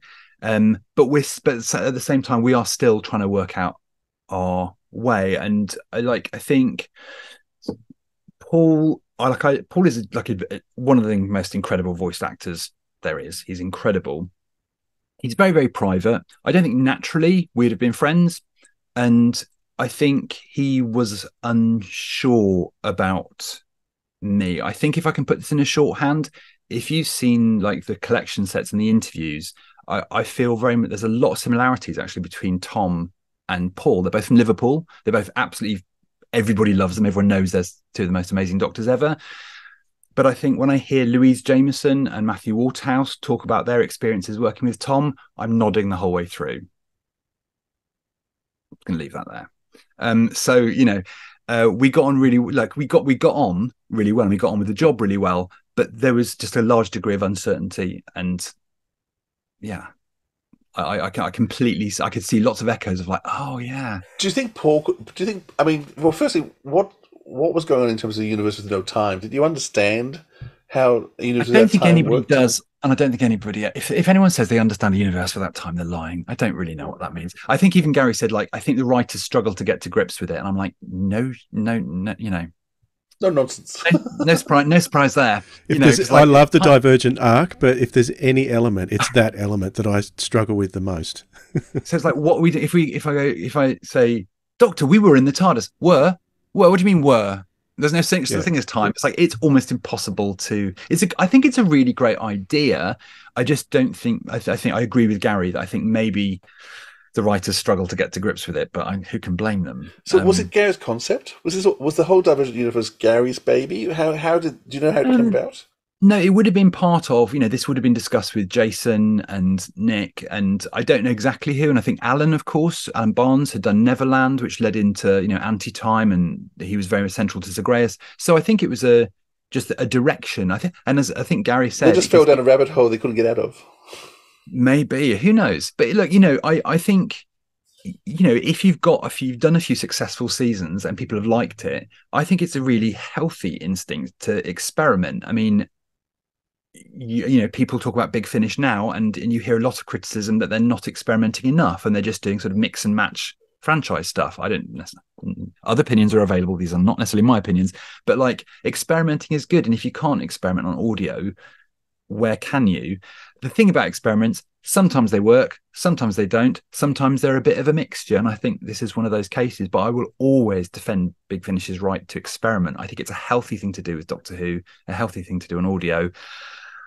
But there were a lot, it just came at a certain time where there was a lot of stuff going on. So it was it was really rocky. It was kind of now I talk about it, it was kind of really exciting, but it was very rocky, very up and down. Like I, it was for me, it was like major highs. You know, my new best friends are India Fisher and all this kind of stuff, and then major lows because you go online and everybody hates you. So it's sort of very rocky. I never hated you, Conrad. Thank you. That's So- one. Absolutely not. Not everybody. That's for sure. Yeah, but you know, no, you know what I mean. I'm just like whatever. I Like know, said, we, yeah. we, we, we did get I get the one. I get one negative review on on the podcast, and I, I, you know, He cries go like a sit in baby, dark room me. for a month. yeah, yeah, yeah, yeah. yeah and of course, with Outpost Gallifrey, the, the, you know, it's not like Twitter. Each post is like A4 pages long. So when someone doesn't like you, you know, that's some bedtime reading. That's you know, that's a whole essay. But I, I'll just go back to Paul brief, briefly. Although there was real uncertainty at first, and also I think he had, an, I don't want to talk out of turn. I think he was generally having a rough time, and I think he like he suffered from insomnia.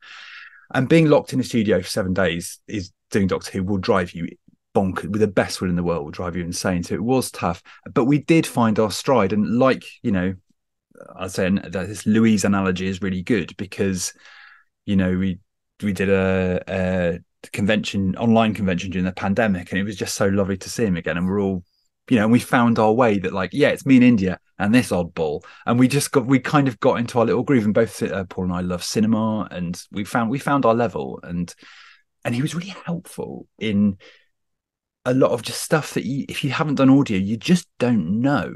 I remember India walking in and saying that she, on her first day, she just didn't know to breathe. So she'd say her line and just hold her breath and wonder why this woman's getting blue in the corner. And also paper when we weren't using iPads. Very hard to wrangle paper in a seed change. You're mid rant and you've got to sort of do all this stuff with paper. It's really, really hard. And he was just like five page scene, page one in your left hand, two, three, and four on the stand, page five in your right. And that stuff can just save your life and turn you from being a bit of a mess into knowing it. And he taught me so much about that stuff. So and I've got enormous respect for Paul. It has to be said. Mm. So you, you come back for the second season. Of course, said, just before Zagreus got released, after you've actually already recorded your first season, it's announced Doctor Who's coming back. Uh, suddenly, you know, Gary and Big Finish realise there might be a huge intake of new fans once the show starts. And they've got the most recent Doctor whacked away in a divergent universe that isn't making a lot of sense to anybody yet. So we have to bring you back. And so your second season comes out, which is just rushed. I think probably in some ways rushed in terms of trying to finish the storyline, the Divergent universe, and get everyone back again. Um, what's the feeling like in terms of the fact that what should have taken four or five seasons to unpack and explain is suddenly now pushed to two, and you're back to back to the real universe? Yeah, um, we didn't really know, you know, what was going on behind the scenes, particularly. So we're not there worrying about the script. The script just the only the first thing we know about a script is a heavy thud on the door, and you hear it you know, as it comes through the mat. So we didn't really know about all that scrambling. Obviously, we knew Doctor Who was coming back. In fact, I was out with Clayton Hickman, Scott Gray, and Spolz, Tom Spilsbury from Doctor Who magazine, and I took them to see a play. And then afterwards, Clayton had a took a call, and he just said, or had a message from Mark Gatiss. He goes, "I've just had a message from Mark Gatiss. Three words: It's coming back." And that's when we all discovered it was coming back. It was a very cool night. None of us have ever forgotten that. Um, so we knew it was coming back, and I kind of, I think, I just thought, well, this probably means the end for this. And I remember the next life there was a palpable sense of we may never do one again. Um, and there was a weird moment where I went to India's house, and I remember Nick Brigg was there, and I think me and India were thinking about calling it a day, like the two of us just going, let's. You know, it's better to leave a party early than before being asked to leave. So maybe we should go, and maybe we should go together. And I remember Nick going, "Oh, this is just like when it's like being there when Wendy Padbury and Fraser Hines decided to leave together." Um, but then I think one of us or two of us were offered a check for a job and we're actors and we need food and electricity so we both said yes and just kept on doing it um but but i think at the next life like, i was very aware that this could be the last one because i was excited as a doctor who fan that it was coming back. So i was like never mind big finish. What's, what's happening here? Um and i be and i can't remember when this was but i got to go and again this is just me being jammy. I knew somebody who worked on was working on the new series and she said, "Oh, do you want to come down and have a look?" So we went down to I think it was and this deserted building where they were filming the long game, and we got to look at the sets and the props, and they were like, "Oh, do you want to come and see the TARDIS?" And I'm like, "Yes, please." And I was so shocked to see police box doors. I was like, well, that's a nice prop, but where's the TARDIS? And then, you know, she opened the doors, and I had that moment of walking up the ramp and seeing this coral control room for the first time. So it was it was just wild. I have to show you. I brought one thing because there were props everywhere. We walked into a room. I've still got a photo of it, and there was we didn't know what they were, but the Cassandra was there, sort of just propped up against the wall. The face of Boe, half a Dalek, and I was like. I'm gonna nick something because I'm an actor, and we always actors we love to nick things. So I nicked one thing, and I've got it here to, to show you. So I I chose out of all those things, I chose to nick this. It is. I'll Oh, I'll- so it's one of the missing posters. It's fairly modest. It was basically it was sitting on a stack of photocopying paper, and it's the missing one of the missing posters from Rose Tyler. And I nicked that and framed it. So that was the cool thing I nicked. Um, as a side hop, but um, yes, Nicely when you- framed too. Thank you, dude. Thanks. um, so yeah, we knew it was coming back. So basically, I just thought the next life was it, really. And the, but then- then they had that cliffhanger. Yeah, they had that cliffhanger. So I guess I must have known it was coming back. But I don't know. I, I think just mentally, we when the TV show come back and I knew it was coming back, I think mentally I just thought this is this is going to wind up soon. And I was amazed we went as long as it did. I think Gary said that the subscription when people said it was heard it was coming back, the subscriptions just vanished. And Yeah. they were like, we don't know how we're going to afford this next series. The money's gone. But then I think when they realized how long it was going to be for the show to come back, I think they, I think, well, they, I think they, mm, the subscriptions, subscriptions did sort of creep back Climb up. back bit. in. Yeah, yeah, yeah. Uh, speaking of the next life, it, it must have been pretty cool to have uh, Paul Darrow as your dad.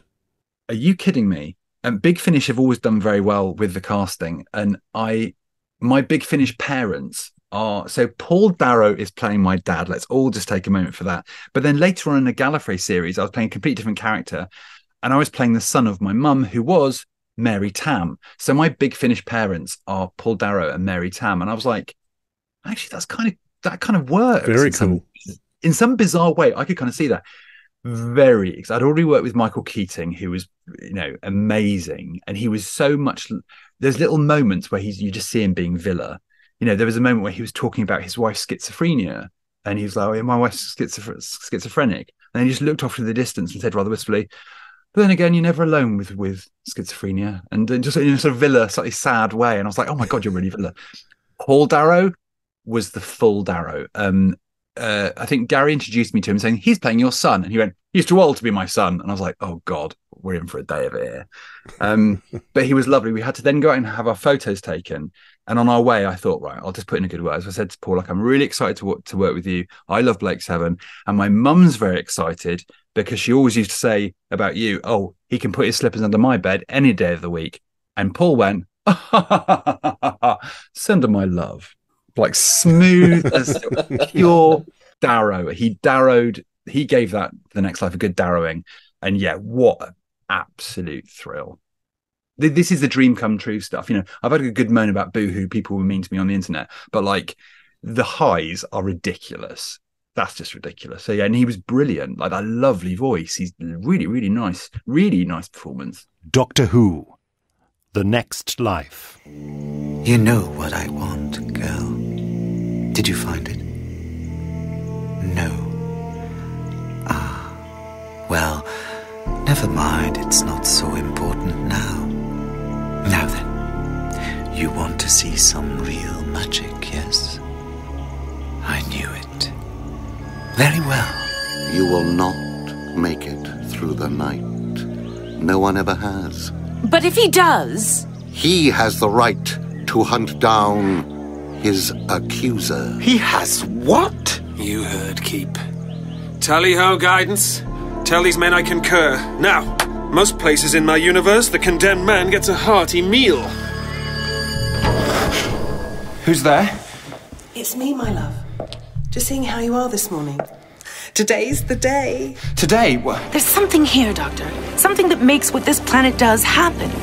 All I needed was help. Someone ready and willing and able. And then when you got washed up, well, I thought perhaps there's something in this God stuff after all. You know, my hero. I'm no hero, perfection. No? You look like one to me. Up until this stage, all the Eighth Doctors are being released monthly, you know, sort of the, a new season coming in blocks and it release, you know, one after another. Um, after this, though, once we go back to the real universe, it takes 18 months before the next release. Um, even though you record three or four together about 12 months later, but they're now then being released not in sequence. So, you know, every three or four months, the next one comes out. Um, so you just, it- it's all just slipped back into the normal range. Yeah. Um, did did you notice that that had happened in terms of was there much change? Does it affect you at all in terms of your performances or getting together? No, not at all. Not at all. And, and are you that- s- are you still reading the fan responses and getting depressed at this stage, or Um, given yeah, up by now? I have to be fair. Like, let's be fair. Like, I wasn't like obsessively trying to kind of see everything. But the thing is, I'm a Doctor Who fan, so I'm gonna, you know, I was on there anyway trying to find out about the new series. So you just after, and to be honest, after a while, you just, you by that time, I'd kind of had that initial kicking, and by then I was pretty. The exoskeleton was real. I was but after after a while, I was fine with it. Um, but uh what was what no we weren't aware of it in terms of it didn't make any difference to us when they're released but what was what was lovely and it was so helpful because all, all alongside this this is like while doctor who is one of the most important things in my life. This really was a side job compared to what i was really doing because during all of this i was sort of you know touring and having a stint in the west end and doing like my main actual focus in my life was all my theatre stuff. So this just slotted in very very nicely. And the beauty of it is anytime you went to an audition or anywhere, they always say, So what have you been doing? And I was always able to say, Oh, an audio play of mine's just out, or Oh, next month an audio play play's out, or Oh, I'm just recording. So there was always something, you were always doing something because these things were peppered, uh, you know, throughout your year. So it was a really good support. It was, it was, it was really lovely and to be honest, useful having this stuff as a, as a sort of sideline, really. Um, but yeah, I don't think it made any difference. I loved, I, I know I loved Terra Firma and I really loved other other lives like very very much. They were they were two of my favourites. I think. Speaking of terra firma, um, is that where you brought your old friend Lizzie Hopley in? Yeah, yeah, it was. Yeah, you're right. I think there was a. It wasn't like I was pestering to get her in there, but I think I'd mentioned her to Gary, and then a role came up, and you remember him phoning me, and I was like, yeah, I was back temping at 20th Century Fox. Yeah, and he phoned me and went, "This Lizzie Hopley, what's she like? What to do?" And I was like, I told her how fantastic she was, and yeah, he did get her in. Uh, with Gemma and Samson, who came in, and and and Lizzie's a Lizzie's a one of the most remarkable actors I've ever, one of the most remarkable people, because she is so curious and productive. She's one of the most productive people I have ever met, and her and Dorney are unbelievable. You know, are just unbelievable. They're just powerhouses, and she's so creative, and she does she like at any given moment. Lizzie Hopley is writing plays. She's she's starring in plays. She's doing she does amazing things that you never get to hear about because she's got so much stuff on the go. But yeah, she was she was really brilliant in that, and I was also quite pally with Joe Lidster as well because I think we'd we had kind of lots of conversations. He'd had a certain rea- reaction to the Rapture that he'd put out, and I'd had a certain reaction to my stuff I'd put out. So we kind of bonded over over how we deal with all of that. Um, but yeah, Terra Firma was great, and Lizzie, yeah, of course, she played uh, so Gemma and Samson with Lee Ingleby, and I think Paul McGann would have happily swapped being India, like get these two middle class twits out of here, and let's get Lee Ingleby, and uh, I think he'd have happily swapped. I don't blame him. Yeah, and uh, you mentioned other lives too. That's probably my my favourite post Divergent arc story. You like the comedies as well, huh? Yes, but there is a darkness in other lives that's Yeah. that's that's always that's always present, and um, I love well I love that era of history, and I think it was a really clever way to get the alien C'Rizz uh, sort of inserted into that story, put him into a freak show. Um, I think that was the perfect thing. Was it difficult, do you think, to get different situations for C'Rizz to fit into as that alien character? Yeah, I'm I'm kind of always surprised they let him. uh, You know, if I'd been a producer, I'd probably left him at the next life and said goodbye, thanks for your help in the universe, but we're off. Like, I mean, that makes sort of sense. So I was really surprised and always very grateful that they kept me on, even though they'd c- had curtailed the arc. I think Gary was like, "Well, it's not his fault that we could curtailed it. Let's keep him on." Um, but there was that, as you say, there was that real question of like, what do we do? How do we make it work? And I remember in a bar in Bristol, you know, because you'd stay up and sort of chatting and stuff. And I remember us saying, and I, I said, like, what about a French farce? It'd be quite funny, like, to make a feature of the fact they're trying to hide what he's like. And I said, what, what about a French farce? They're trying to hide him in the cupboard and all this kind of stuff. And I said, you could, I said, I do, I was kind of just sort of saying, there are ways that you can make this guy not fitting in actually quite funny. And Gary Hopkins in Other Lives did that brilliantly. Like, yeah, locked in a freak show, ridiculous disguises, outrageous accents. I'm so sorry to the people of France. Uh, me and India would, should have just been shot for that. Um, but like, uh, yeah, it was really fun, and I, I liked that, and I, I I enjoyed the fact that there was some. Yeah, making a feature of like, who are you? What a weirdo! And I started to get a bit more of that because, of course, he was in these situations where people like, who the hell are you? And actually, that gave that gave me a lot more. It actually that really helped. The actual that mm. grit kind of helped because I don't I, I don't know about you, but I'm not really interested in like, hello, I'm a space person from the space universe. I'm like, who cares? Like, it's nice to get a bit of grit of people saying you're a freak, and then you know what are you? Is like so in, in a way, it actually helped that kind of yeah that that kind of yeah that kind of bumping up against the world really helped a lot. I think. I do think humour is an essential part of drama. And if you haven't got humour to get the highs, you don't get the lows either. And I think sometimes a lot of authors can take themselves way too seriously. And once once you lose the humour, you lose interest. I've, I've been reflecting, um, watching Star Trek Discovery and Star Trek Brave New Worlds. And Brave New Worlds I adore. It's hilarious. It's great fun. It has terrifying episodes. It has, but it has total comedy episodes. Discovery just takes itself too seriously, and I was just thinking, I'm just turning off. I just every episode is just too serious, and where's the fun? And you don't want to be with when it's no fun. You just don't want to be there. And I think you know one of the winning ingredients of Doctor Who is it's fun, and you want to be there. And so yeah, I think I think a lot of a lot of these stories you had, um, but you had lots of experimental writers. It's interesting looking through the writers that you had. So many of them only the one or two stories would be finished, and that means that Gary would have been working his pants off, no doubt, script edit- editing as well, because trying to get the scripts together. Um, yeah, I think lots of people are doing a lot of work to make things work. Um, I would just put out another one in that block, Scaredy Cat, which we've also done a review on. It's a really, you know, Dwayne's scariest episode. Um, worth mentioning just in terms of that as well. Another, another Lizzie Hopley being terrifying. Was Lizzie in that? No, I think no. Oh, it- no? Sca- Scaredy cat. It's Night Thoughts. Lizzie Oh, Hopkins. it's in. Night That's a Thoughts. That's Scaredy right, cat. I thought you were talking about because I absolutely despise the story. Uh, it's probably my least favorite I was looking- story. You're For those I watching was- video, you, I was looking at Dwayne like, "You all right, mate? What's going on for you? you Scared Cat's your favourite story. You okay, hun?" Yeah, But you're then- right. but I'm mixed easy- I'm mixed up with Night Thoughts, aren't I? It's similar covers. I, there you go. I did want to ask you something about that. Do you remember much about? I know it's only a day's recording, but Arthur Boscombe. It was his only ever appearance in. That's a pronunciation of his name, isn't it? Uh, Bo- Bostrom, Oh, Bostrom. Sorry, Bostrom. Yeah, Um, so I, I love my 'Allo 'Allo. So there's been a few uh, actors from there. Do you remember much about that recording and, and him? Yeah, I remember that the, it's, it's, it's very corny, but of course you always do remember the people. Um, and the people I remember from that were Ros Blessed, Brian, Ble- uh, Brian Blessed's daughter, and I think I knew her through Caroline Morris, who played Erimem, they were buddies, and we'd been, we'd had some we'd had some actor parties with a lot of incidents and red wine and shenanigans. So I knew her, and she was great. And Arthur Bostrom, I was really excited about for the same reasons. And he was great. He was very fun.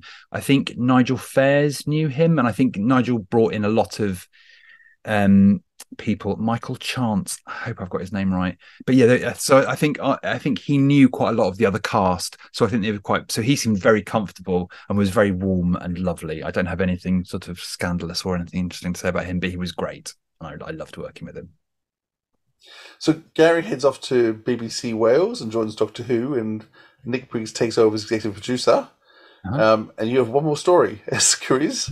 Um, is that was it Nick's decision in terms of it's just time to wrap up this whole everything? Wrap up you, wrap up Charley, just move on with what he wanted. How did that all come about? Yeah, I've no idea because after Gary, I think when Gary was there, I lived I lived in South London as well, so I was part of the you know Broccoli Collective or whatever they were called, you know Joe Lidster or whatever. There was sort of we were all knocking about a bit, and I think after Memory Lane, I really didn't think we were doing any more. I'd saw I by that time I'd kind of really let it go, and I think the TV show had started, or I think after Memory Lane, I just has, had assumed we weren't doing anymore. And when the new re- regime came in, I never imagined for a moment. I just kind of, I just kind of closed the door on it. I just thought, oh, God, well, that was an amazing run. Gary's gone to Cardiff. You know, we're back in the universe. There's a new regime. I just imagined they wouldn't want to do it. So I was really thrilled when I got a call from Nick saying, hey, we're going to do a last story, um, which is, I just thought was really good of them, just because it probably wasn't their bag or you know obviously if you start a new range you want to do a clean slate completely start again. So the fact that they tied that up and honored it at all i was really really chuffed about. Um and also there's a there's a missing story. I've actually got a script for one of a story that was going to be made but then got shelved because of the uh of switching it back to the new universe or whatever um, so there's actually an Eighth Doctor, uh, Charley and C'Rizz missing story, and I've got the script. So that's it's kind, it's kind of quite cool being a Doctor Who. You feel like, oh, I'm really in Doctor Who because one of my stories is missing. That's great. Um, so You that's can share, share it later. I'd love to see it. Who knows? Yeah, yeah. But yeah, Absolution. And, and I think it was Barnaby Edwards who was directing. I'd never worked with him before. So it was new director, new producer, new everything. But I was just really, uh, genuinely, I was surprised to be asked back. Uh, but I was really grateful that they just ended it. They wanted to do an ending story. So I, you know, really, really grateful for that. So. And did you always film in Bristol? Did you always go to where Paul was? No, it started off in Bristol. We used to hike down to Bristol for a week, which was brilliant because it was a very cool studio. Massive Attack uh, were record- re- recorded in there as well, so that felt very, very cool. Then I think it was the Moat mainly in Brixton. Was that the one in Brixton? I think it was. Um, that's the one I did most of them. That's where I recorded most of my stuff. Then I think they moved on to Ladbroke Grove or somewhere else. Um, but yeah, Mo- so yeah, Bristol and the Moat were, were my two main places. In fact, I think no, I did. I again, like you see, I'm terrible actors. Don't trust them anywhere. I, you know, was in the booth, and I remember I thought I'm just going to write my name here. Like I don't know what I wrote, something silly, but I put my name on there. I remember coming back six months later, and then it was the wall was completely black with actors just like writing their own name. So I think I started that that tradition. When I left, we used to do these signings, these long, long, like six hours signings down in uh, Barking at Tenth Planet. Um, but I, I sold a load of my scripts at the end of it. Um, partly, again, I'm an actor. I'm trying to keep food and trying to keep the lights on. Um, but also, I just thought, you know, they're just sitting in a cupboard gathering dust. And I remember the Zagreus one. I remember giving that to a guy. So, you know, the guy bought it, and I just wrote on there to his name's Rory. To Rory, look after it. You know, love Conrad. And I said to him, so I was like, good luck, have fun autographing that. And then I think last year on Twitter, I just got this DM with, and he said, I looked after it. And there's a copy of Zagreus and it's signed by everybody. And that's just, that's just beautiful. I mean, that's, and again, you know what? I think this is important to say. I mean, I've, like you said, I've said, I've had very mixed feelings about my time on Big Finish. I, I love it, but of course, I've got reservations and it was a mixed experience. Um, but you forget about Doctor Who it never i've known doctor who all my life but i'd forgotten this when and it was this guy rory he said to me he's like i lived in a little village i was very lonely awkward kid, didn't know what's going on. I was trying to deal with my own stuff. And he said, every time your CDs came in the post with your team, that was my team and it got me through. And I just thought, I never even occurred to me that we could, we would be someone's team. And but of course, Doctor Who does that. Whatever version of Doctor Who you see, that is someone's version. And I hadn't, and that has got to be the biggest. That's the best thing in the world, isn't it? If you're to be to have been to, to think that you could have been part of the Doctor Who that gave them all of this, all the joy and stuff it gives all of us, and and just to have been part of that, that is that's a big kick. So that that makes everything better, basically. Mm. For for me, you guys for five years were Doctor Who. You were the new Doctor Who. I loved all the other stuff. I loved all the other characters. Love all the other Doctors, but they were just slotting into the canon as it was. You guys were creating new Doctor Who, and so year by year, you get a new season come out. And some seasons you loved and thought were fantastic. Other seasons you thought, oh, there's a good one in there. These, yeah, these ones, yeah. But it was you were the new Doctor Who, new new series every year, and that that's to me what I was waiting for every year. What was coming new for Doctor Who? That was you guys. That's amazing, and it never goes away. And of course, it never goes away. Like this is twenty years. Twenty years ago, I started doing this, and I'm still talking about it. I know we all hear people say that Doctor people say that, but even though you know you think you know this stuff, it still takes you by surprise. And and you know sometimes you know when I did see Paul in India, you know, it just occurs to you like we like the three of us have been through something that no no one else has ever done or ever will again. And and it is. I was talking earlier about like to come back to the question about what it's like being a companion is like there's so much there is the act the characters being a supporting character but then there's also being a, how it how it falls down in the studio. Like you've got a lead man who you've got to support and your guest cast it's a bit like going to the tardis. Like in in the moat studios the door was blue you'd go in and there's a big control room in there and there's just the three of you. And then tomorrow you arrive somebody else and a whole load of new people turn up and it's just the three and you three stay the same while all the people each each adventure is new people and new things. It is a weird old job. And it's it's brilliant. It's still it's still big a big part of my life. And i'm under no illusions. This is the thing that will outlast me and that i'll be remembered for. And that's like well if it's doctor who then you know hooray. Corey, it's been amazing talking to you. Thank you for your recollections. I hope we can get you back in the future when we do some randomoids and hit some of your stories um, because I've adored talking to you tonight and looking forward to future conversations. Dwayne and Philip, thank you so much. This has been a real kick. Thank you so much. Ladies and gentlemen, for your education, enlightenment, and edification! What are we waiting for? Come along. Where are we going? To pay our respects to the Duke of Wellington. We want Monsieur Desroches and his wife to return home to France with good reports of the exhibition. Police Public Call Box. Christian, have you ever seen anything quite like this before? No, my dear.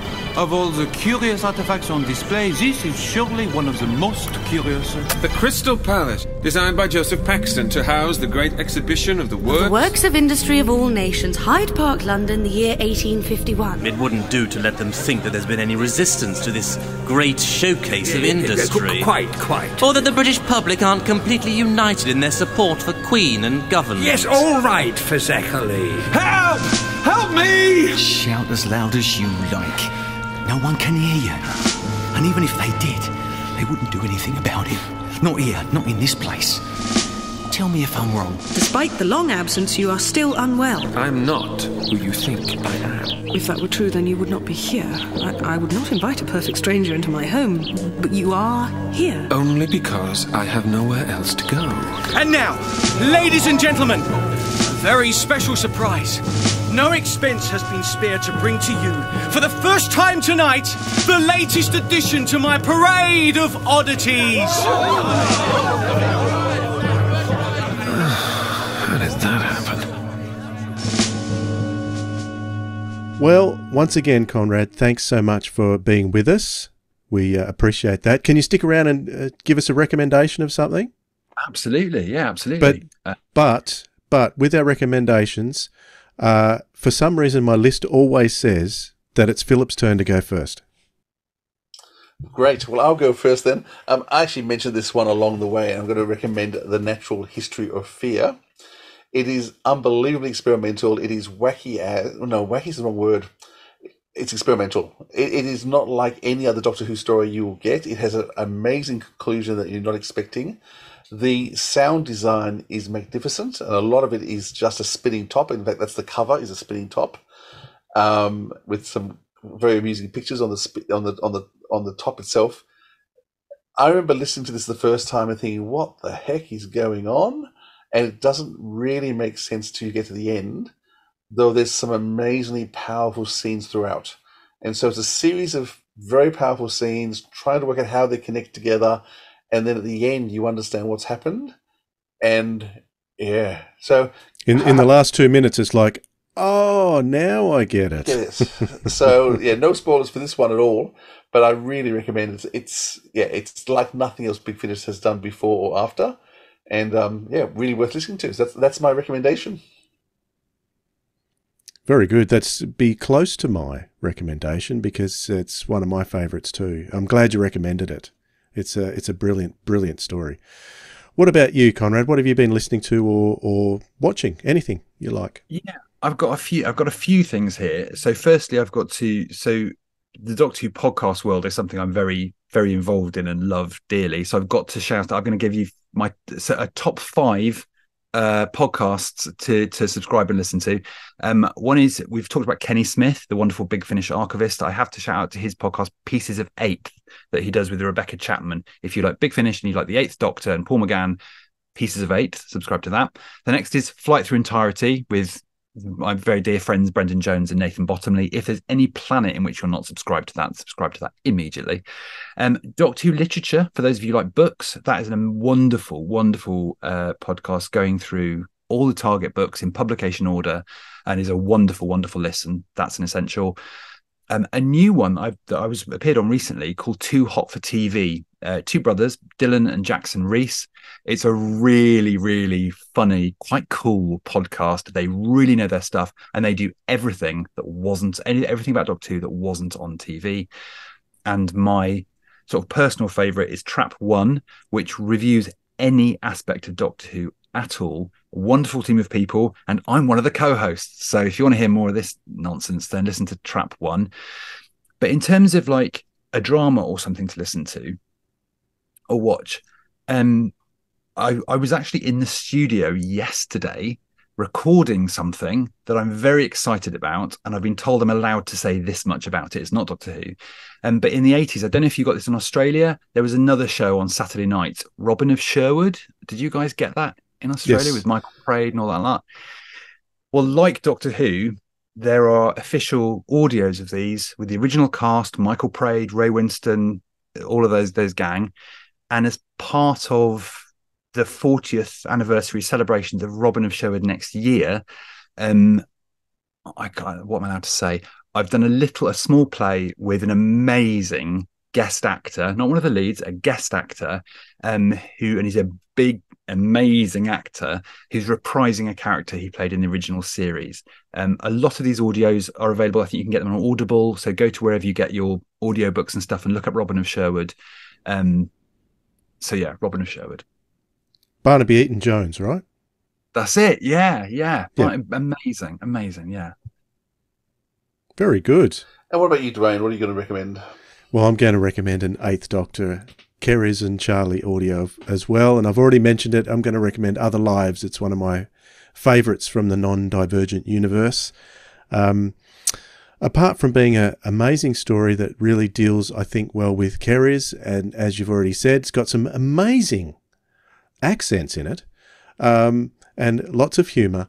Um, there are also some very dark elements too. Uh, it's a very dark period in history in some ways, in some in some corners, and it deals with that well. We've also got um, a, an, an interesting story for the Eighth Doctor as well, being mistaken for someone else, and so he features on the cover of that CD, uh, sporting a very different look, a bearded Eighth Doctor. So I really enjoy Other Lives. So that's my recommendation. yeah it's a great story i thought you were going to go with the faith stealers but there you go No, other lives. Okay, well, once again, thank you so much, Conrad. It's been a pleasure to have your company. Thank you, guys. And thank you, Philip. appreciate you, your company too. You know I do. Yeah, and I appreciate yours too, Dwayne. Oh, thanks, mate. All right, we'll catch you all next time. Bye, everyone. This has been the Sirens of Audio, episode 174 How to Be Invisible, with our guest Conrad Westmaas and your hosts Philip Edney and Dwayne Bunny celebrating 20 years of 8th Doctor companion C'Rizz. Original theme music composed by Joe Kraemer. More about us from sirensofaudio.com. Comment below to let us know what you thought of the episode or contact us via email at sirensofaudio at gmail.com or any one of our socials. Thanks for listening, audiophiles. We'll hear you next time.